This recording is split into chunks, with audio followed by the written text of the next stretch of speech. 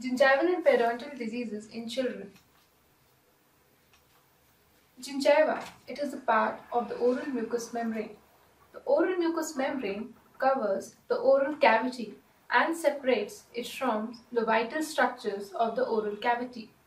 The oral mucous membrane can either be keratinized or non-keratinized. Gingiva, it is a part of keratinized oral mucous membrane. So gingiva can be defined as the part of oral mucosa which covers the alveolar process of the jaws and surrounds the neck of the teeth from the periphery. It is one of the most important part of the periodontium. Periodontium further supports the teeth. So gingiva plays an important role in supportive function of the teeth and in nutritive function of the teeth. It also helps in proprioception, that is, perceiving impulses from the exterior and taking it to the interior or the vital organs. Now, what is the periodontium? The periodontium consists or it comprises of the supporting structures of the teeth. It mainly consists of the gingiva, the periodontal ligament, the cementum and the alveolar bone. The prevalence of gingival diseases in children has been reported to be by 99% according to the epidemiological studies. Even the prevalence of periodontal diseases in children in, is more. But as compared to adults, the incidence and the prevalence of periodontal diseases in children is less. This is because of the slower rate of destruction of the periodontal ligament and the faster rate of production of the periodontal ligament fibers. This will lead to the slower rate of resorption of the alveolar bone and the periodontal ligament fibers. So, as, a, as we all know that gingiva is a part of oral mucous membrane. It comprises of mainly three parts that is the papillary gingiva, the marginal gingiva and the interdental gingiva. It also comprises of the attached gingiva as well. Now it has come to know that what is the papillary gingiva. Papillary gingiva is a part of the gingiva which houses the interdental spaces between the teeth. It is also known as gingival papilla. Now, what is the marginal gingiva? The marginal gingiva, it circumscribes the crevices of the teeth and margins around the teeth cervical region. The attached gingiva is continuous with the marginal gingiva. So, the attached gingiva comprises of certain special features. These are known as interdental clefts. Interdental clefts are present mainly in children. It is present in the saddle areas of the gingiva. Now let us know what is the main difference between gingiva of adult and gingiva of a child. There are many hallmark differences between the two. First of all, in children, the gingiva is bright red in color, whereas in adults it is coral red in color or coral pink in color. That means this is because of the increased vascularity of the gingiva in children, decreased keratinization and decreased number of the epithelial layer that is the stratified squamous epithelial layer which covers the gingiva. It has fewer number of layers, lesser keratinization and higher vascular supply leading to the bright red color of gingiva in children. Similarly, the texture of gingiva in children is less stippled. Now what are stipplings? Stipplings are the depressions and the protuberances which are present on the surface of the gingiva. These are formed due to the indentations of the connective tissue in the epithelium. The main function of stippling is reinforcement of the gingiva. Thus, in children, the gingiva is less stippled, that is the protuberances of the connective tissue in the epithelium are lesser in number. Stippling are responsible for a healthy gingiva. The incidence or the density of stippling is more in adults than in children. Now coming over to the consistency of gingiva. In children, the consistency of gingiva is more flaccid or loose. This is because of the connective tissue fibers which are present in the gingiva are lesser in number, they are lessly interconnected and they are immature in nature. The circular fibers of the gingiva that is A fiber and B fiber are less mature. Similarly, the ratio of the connective tissue and the ground substance is lesser in children than that of the adult gingiva. So the gingiva of adult is more firmer than that of a child. Now, the margin of gingiva in children is thick collar-like. This is because of the spacing between the teeth and the saddle areas of the gingiva. This will give rise to the collar-like appearance or the rounded protuberances in between the gingiva of a child. Whereas the margin of gingiva is knife-edged shape or is very fine and thin in the case of adult gingiva. It is also less keratinized and more prone to infections and inflammation. Similarly, coming over to the interdental area. Interdental areas means the margin or the area of the gingiva which connects the buccal side of the gingiva to the lingual side of the gingiva. In children, it is keratinized or saddle type or saddle in shape. That means the degree of keratinization of the interdental gingiva in children is greater, it is more. Whereas in adults, this gingiva is scroll shaped or tent shaped. It is also known as tentorium. So, due to its lesser keratinization, the interdental gingiva in adults is more prone to infection and inflammation. These were the peculiar characteristic features between of differences the adult gingiva and the child gingiva. Similarly, the periodontal ligament fibers, as I've already told, are lesser dense and less mature than that of the adult gingiva. Retrocuspid papilla and interdental clefts are the peculiar features of attached gingiva in children. But in adults, this peculiar feature is absent. Now, what is retrocuspid papilla? It is peculiarly a depression which is present 1 millimeter below the canine area or the marginal groove beneath the gingiva of the canine on the lingual side. This is basically present in 85% of children. Then, the gingiva of a child is less susceptible to infections because the rate of formation of the fibers is more than that of the rate of destruction. It is more keratinized, have saddle interdental areas also. The alveolar bone of a child is more spongy and less dense than that of an adult. Now coming over to the gingival diseases. The disease or the inflammation of gingiva is known as gingivitis. It is the inflammation of gingiva without any loss of attachment of the junctional epithelium. Whereas in periodontitis, there is a loss of the junctional epithelium and loss of attachment. The classification of gingival diseases can be either classified into the dental plaque induced diseases and the non-plaque induced diseases. The plaque induced diseases are further classified into those which are associated with dental plaque, those which are associated with systemic factors, those which are associated with medications like administration of valproic acid, sodium valproate, and phenytoin leads to gingival enlargement, or those who are modified by malnutrition, for example, kwashiorkor or marasmus. Now, coming over to the non-plaque induced gingival diseases, they are basically either of bacterial origin, then viral origin, fungal origin, or due to underlying systemic conditions like leukemia or lymphoma, then due to trauma or traumatic lesions, or due to foreign body reactions which are generally non-specified or idiopathic. For example, any allergy to the pollens.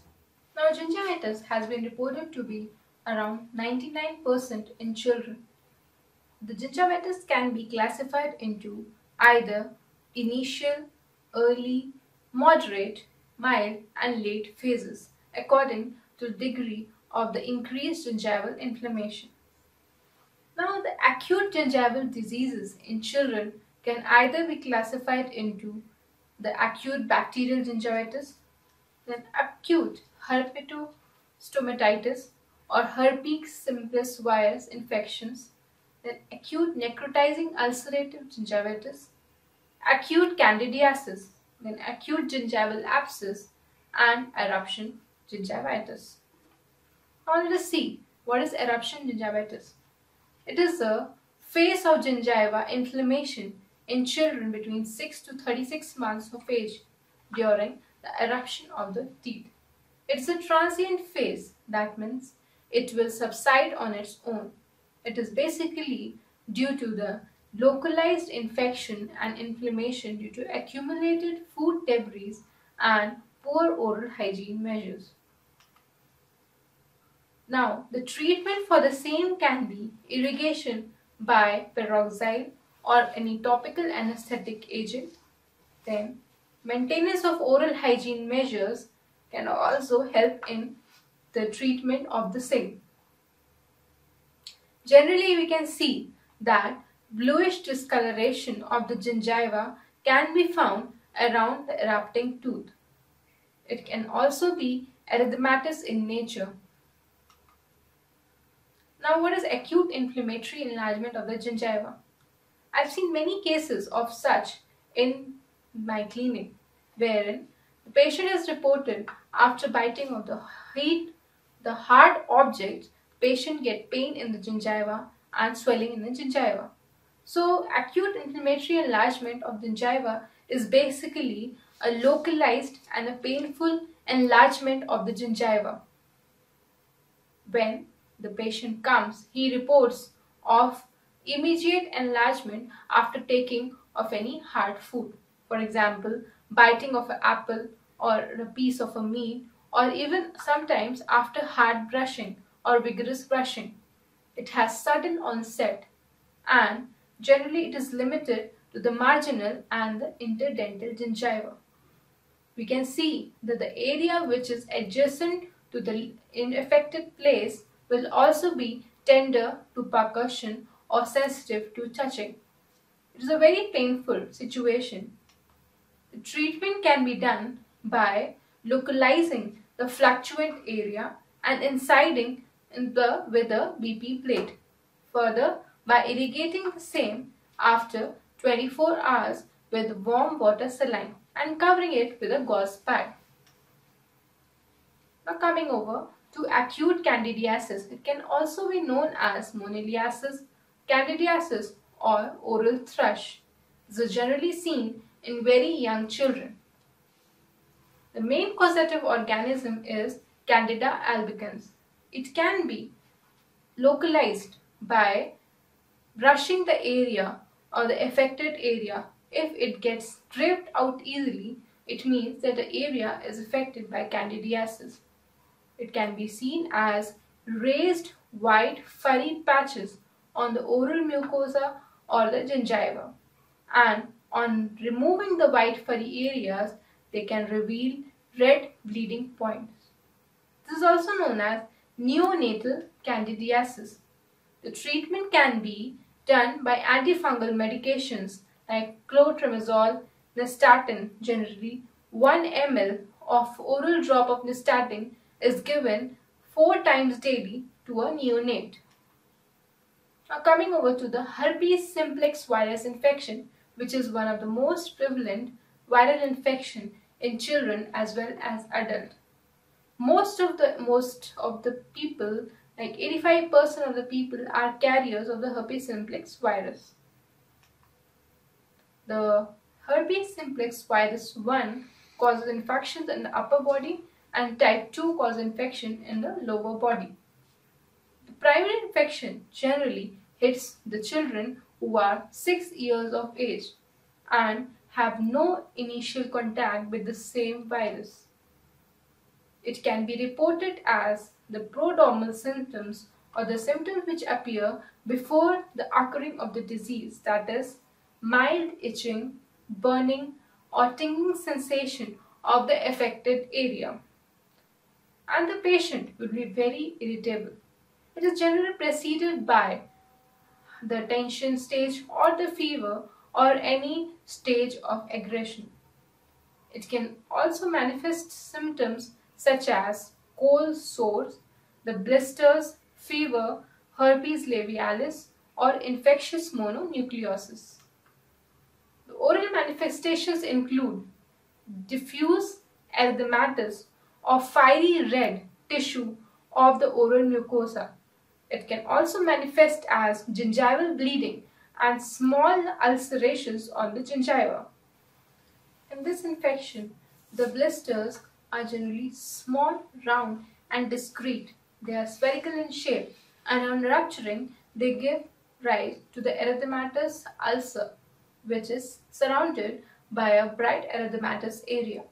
Now these ulcers, they generally secrete a yellowish fluid which is leading to cross-contamination. So such patients of herpes simplex virus should be generally isolated from the rest of the people.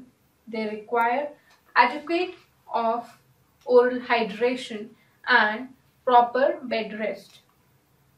The palliative treatment for the same or the symptomatic treatment it is extended from 10 to 14 days with complete bed rest, isolation to prevent any cross-contamination and adequate food intake. The nutritional supply should also be maintained in such patients. The definitive therapy involves antiviral drugs since this disease is due to the herpes simplex virus. So antiviral drugs like acyclovir that is 5 equal doses of generally 1000 milligram per day should be continued for 10 days. And famciclovir and valacyclovir are the other medications which are used. Even antihistaminic drug therapy is encouraged in the definitive treatment of the same. So if there is a primary attack of herpes simplex virus, the virus will house itself in the neurons or the ganglia innocuously. And if a phase of stress or some long-standing fever or disease exists, then this virus becomes active and it may appear as fever blisters or cold sores or herpes labialis in the subject. Generally, it exists from or the symptoms are there from about 5 to 7 days and the treatment should be continued in the same. The course of treatment comprises of valacyclovir should be given 4 grams. Initially, the dose will be 2 grams and later on it will be elevated to 4 grams, followed by 2 grams of penciclovir or acyclovir after 12 hours. Now coming over to the acute necrotizing ulcerative gingivitis. It is the microbial disease of the gingiva which is generally due to spirochetes or bacteria. It may be due to the impaired host immunity, the cellular or the humoral immunity, and the impaired host immune response. It is generally characterized by sloughing of the gingival tissues, that is, the gingiva becomes denuded the bacteria which are responsible or the organisms which are responsible for the same are the spirochetes, the bacteroids, the Prevotella intermedia, Palladium, Treponema pallidum and Treponema denticola. Now what are the characteristic features of acute necrotizing ulcerative gingivitis lesions? The lesions are generally punched out or crater-like Generally, the interdental gingiva is affected. The, the gingiva may become bright red erythematous leading to bleeding and pain in the same. There are certain stages of the disease. In stage 1, the marginal gingiva or the tip of the interdental papilla is involved. Later on, the ulcer slowly spreads throughout the interdental papilla. Then it spreads in stage 3 to the marginal gingiva or the gingival margin. Stage 4, the whole marginal gingiva is covered and progressing to the attached gingiva. In stage 5, the necrosis extends up to the buccal or the labial mucosa. And finally, in stage 6, the alveolar bone is resolved. And the last or the final stage, in stage 7, the skin of the cheek is perforated. These are the various stage of progression of the acute necrotizing ulcerative gingivitis. Can be so severe. Now there are certain primary and secondary features of the same. The primary features or the diagnosing features involve gingival bleeding, pain, the interdental ulcerations, and as we all know that the ulcerations are deep crater-like. There's a necrosis of the papilla, the temperature is elevated with a moderate grade of fever, and there is the blunting or the cratering of the gingiva. The gingival margin becomes blunt. The secondary features include the pseudomembrane and the grayish whitish slough may cover the ulcers with a very poor odor from the mouth and the wooden sensation of the teeth. The treatment of the same can either be local, systemic, supportive or etiotropic. The local symptoms or the local treatment involves treating of all the symptoms. It involves adequate bed rest, then copious fluid intake and re removal of any pain by analgesics. The first stage in the local treatment involves removal of the necrotic slough or irrigation of the slough and removal of any bacteria or any debris which are clinging to the lesion. The irrigation should be done with a warm saline and the debris should be removed with a cotton swab which is soaked in hydrogen peroxide. Then supragingival scaling is done. Then after two days, the same lesion is treated with subgingival scaling with the advice of continuing of the hydrogen peroxide mouthwashes twice daily with chlorhexidine mouthwash four times daily.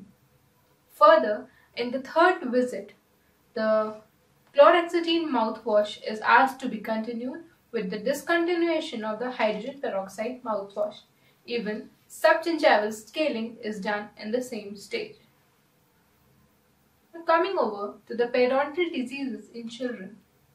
Now what is periodontitis? As I've already told you, it is the loss of attachment or basically pocket formation and destruction of the supportive tissues of the alveolar bone and the teeth. The periodontium mainly comprises of the gingiva, the alveolar bone, the cementum. The classification of periodontal diseases can be divided into prepubertal diseases or aggressive periodontitis. The prepubertal disease can be further classified into localized or generalized periodontitis and the aggressive can also be divided into localized and generalized aggressive periodontitis. Further, the periodontitis can be the associated with systemic diseases such as Down syndrome, hypophosphatasia, leukocyte adhesion deficiency, Papillon-Lefèvre syndrome, and Chediak-Higashi syndrome. We will be considering few of the same. Now coming over to aggressive periodontitis. Aggressive periodontitis is also known as juvenile periodontitis. It is the name which is given to a number or a group of periodontal diseases which generally occur in very young children who are generally healthy or do not have any diseased condition. They are more present in blacks than in whites or Hispanics. It generally involves adult and school going children. Now, what is the main etiology or the cause of the disease? It may either due to hereditary or genetic reasons.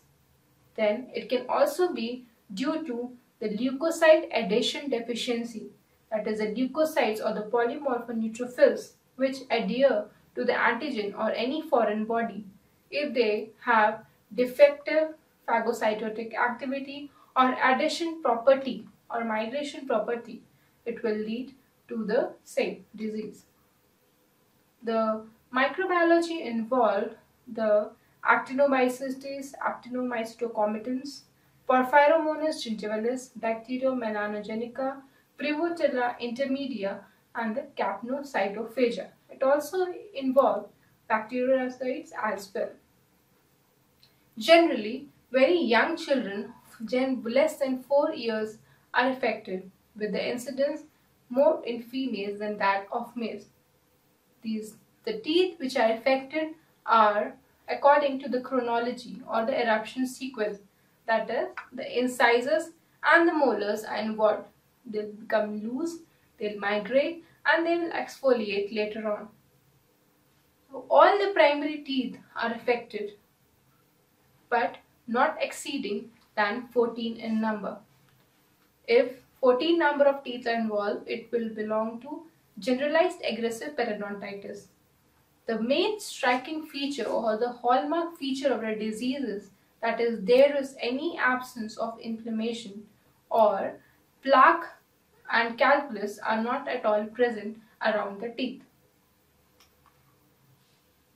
The teeth or the incisors and the molars will become loose, they will become motile and with the flaring of the incisors that is distal labial migration of the maxillary incisors. This will further lead to diastema formation. The radiological features involve arc-shaped bone loss around the teeth from the distal area of the premolar to the mesial surface of the molar. Generally, this arc type of bone loss is bilateral or mirror-like of images are seen in the radiograph. The treatment can be by doxycycline 250 mg 4 times daily for 1 week even subgingival irrigation and irrigation with hydrogen peroxide can help a lot. Coming over to the prepubertal periodontitis.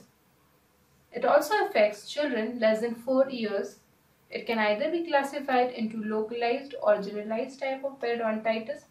The main organisms involved are Actinomycetes, Porphyromonas gingivalis, and Fusobacterium nucleatum. The main difference between aggressive periodontitis and this childhood periodontitis is that acute symptoms of inflammation are present in this disease with slight accumulation of plaque and calculus. There is the extremely rapid destruction of the alveolar bone on the gingiva with abnormal probing depth. Even respiratory tract infections and otitis media can be found in this type of diseases. In this disease, all the primary teeth are involved, whereas in aggressive periodontitis, only incisors and molars were involved, and not more than 14 teeth could be involved. Here, the patient can turn edentulous because of the exfoliation of all the teeth. Gingival clefts, recession, tooth mobility, and then rapid alveolar bone loss can be found with premature exfoliation of the teeth. The perfect teeth appear as normal but also exfoliate around about 14 years of age. So they require proper, uh, the complete denture is required by the patient. So what is the difference between generalized periodontitis which is prepubertal and the localized prepubertal periodontitis?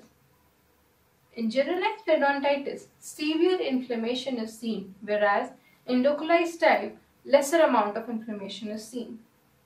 There is a generalized involvement of teeth or all the teeth are involved. Only a few teeth are involved in localized periodontitis. There is a more rapid destruction of bone in generalized type of periodontitis with the functional effect in neutrophils and monocytes in both.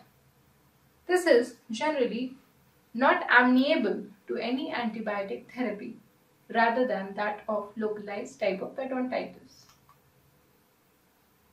Now there are certain systemic disorders which are associated with the periodontal diseases. They can be either leukemia, Papillon-Lefèvre syndrome, cyclic neutropenia and hypophosphatemia. Histiocytosis X and other type of diseases are also associated with the periodontal ligament. Now what is leukemia?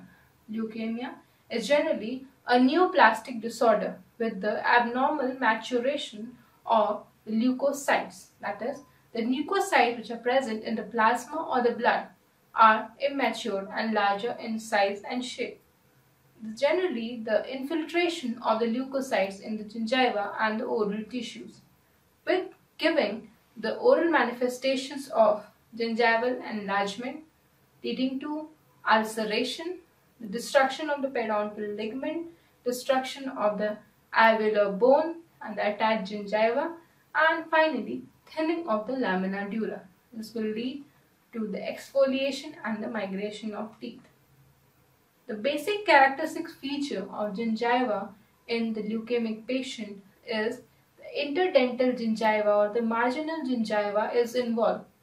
The gingiva generally covers the entire teeth and this will lead to the accumulation of plaque calculus and debris between the teeth.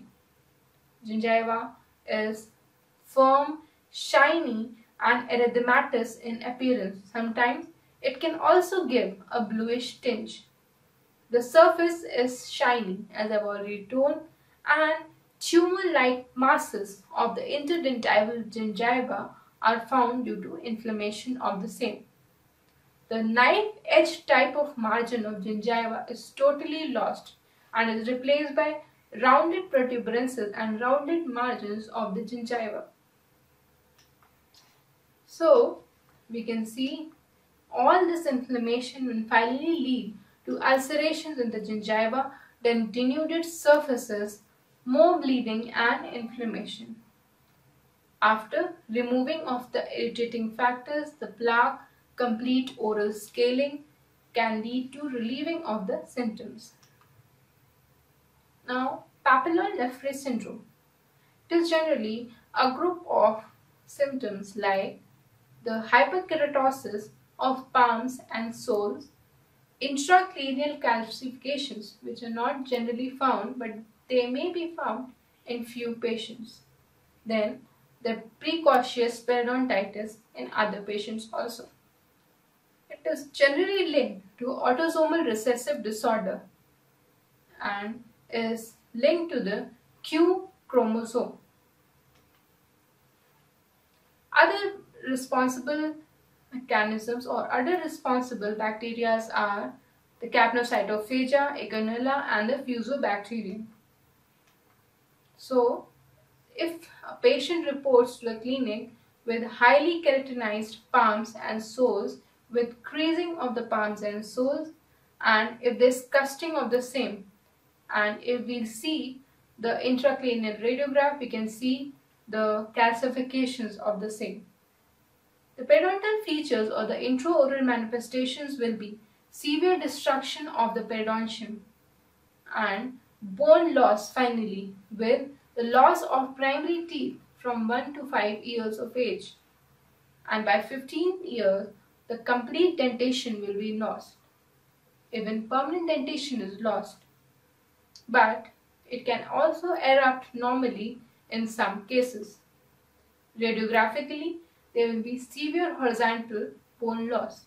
The treatment can be by using tetracyclines, retinoids for healing of the skin lesion, then subgingival debridement by scaling and root planing, then identification of the specific pathogens which are responsible for the disease and treating the same by antibiotics, full mouth extraction and replacement by the complete denture.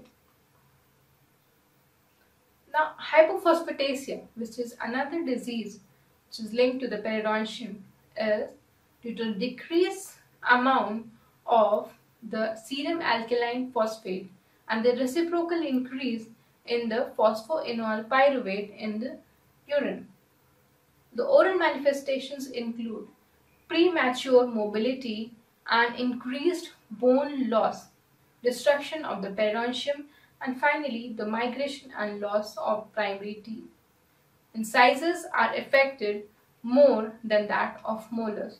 The treatment can be either plasma replacement by the normal plasma and using of oral vitamin supplements, phosphate supplements, increased scaling and root planing, and the replacement of oral hygiene measures in the patient.